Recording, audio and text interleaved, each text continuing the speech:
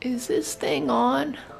Hi you guys. Oh my gosh. I haven't made a video in so long. I'm very excited to be back on here. If you hear noises in the background, it is my dogs. Um, on a side note, I actually wear prescription glasses every single day, but I don't wear them in videos usually because of the crazy glare. So I'm probably gonna take these off. Um, but I'm so excited. Little life update, I am still working in public health.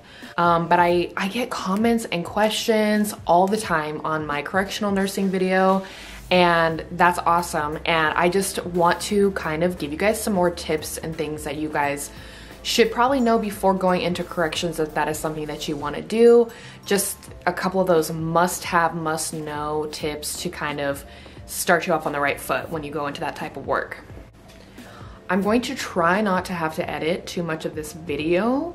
So uh, let's hope for the best. Hopefully I don't say um and like 40,000 times, but I typically do. So let's get started everybody. What you must know before working as a correctional nurse. These are just four or five tips that I have that I have been thinking about and I think they're very, very important. Number one, you can totally go into correctional nursing as a new grad if you want to, but you need to prepare for these things, okay? Number one, you are gonna be working as almost like an EMT. When it comes down to those emergency situations, you know, you're not gonna have um, a code button and a team comes running up to help you. It's not gonna be like that. As far as I know, and a lot of facilities, it's like one or two nurses per area, per yard, per facility, you kind of need to brush up on walking into a scene or walking onto a scene, not having any idea what's going on. You need to know if this detainee hit their head, you need to ask them the orientation questions, things like that. You need to know how to apply a C-spine, all that type of thing. You need to brush up on that knowledge because you may be alone for a while before either 911 arrives or before you know the other nurse in the facility arrives if they're coming from a separate yard. So those are um, important skills that you need to know. Learn how to assess a scene and assess a patient or detainee without much equipment and without much help. You have to be able to do that stuff on your own at least for a little bit before help arrives. Number two just to add on to that all of these emergency situations in my facility, they were called ICS, like Incident Commander System, something like that.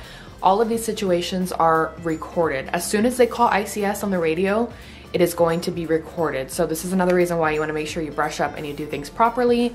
A lot of the time, if there's an incident and the jurisdiction or the detainee's lawyer or somebody wants access to that footage, you wanna make sure that obviously you're doing all of the proper things that you needed to be doing with your license because that can be at risk, which is one of the things I'm gonna talk about. Okay, another thing to attach onto this.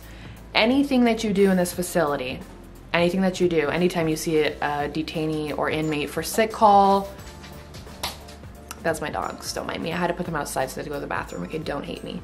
Um, anytime you do anything with the detainee, you need to make sure that you chart this. If you don't chart something, it didn't happen. That's something that you already know.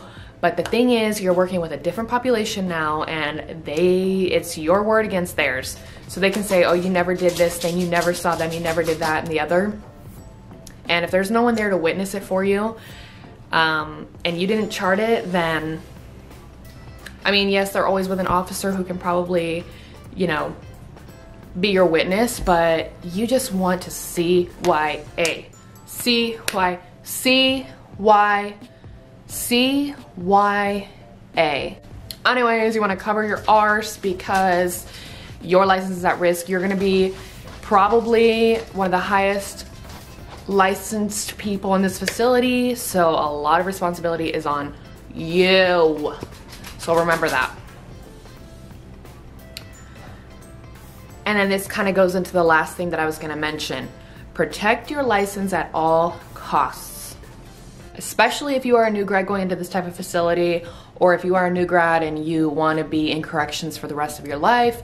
You don't want to lose your license barely starting out. And the thing is, they may not even be asking you in a vindictive way. They may not even know that it's risking your license. So you need to make sure that you are educated and that you know um, you're gonna know if something feels off or like you shouldn't do it or whatever.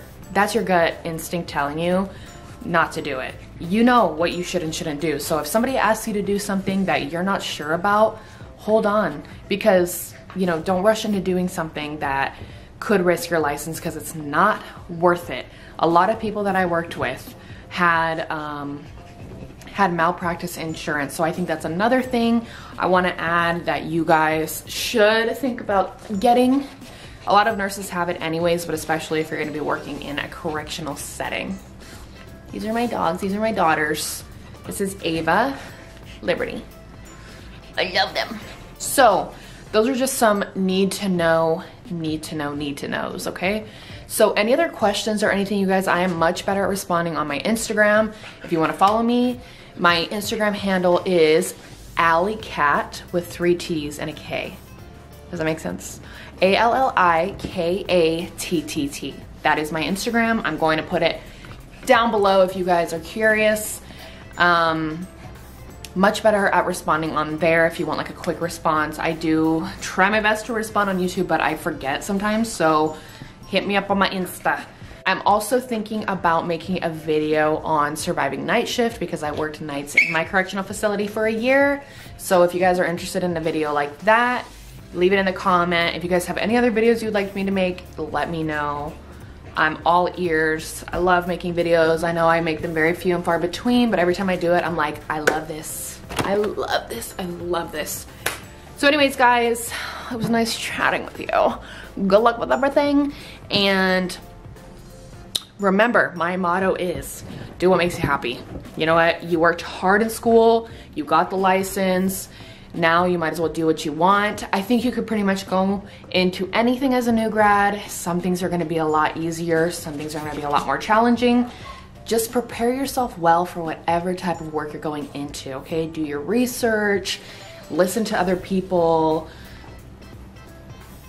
You know, that's my that's my two cents. So if you can get some bedside experience, do that. But y'all know how I feel about the bedside, okay? Anyways, y'all have a great night and I will chat with you another time. Bye. PPPS, PS, I would like to mention if you guys are interested in any of my makeup, if you if you have any questions about that, I'm actually gonna make a video on the makeup I'm wearing. It is Seint, S-E-I-N-T.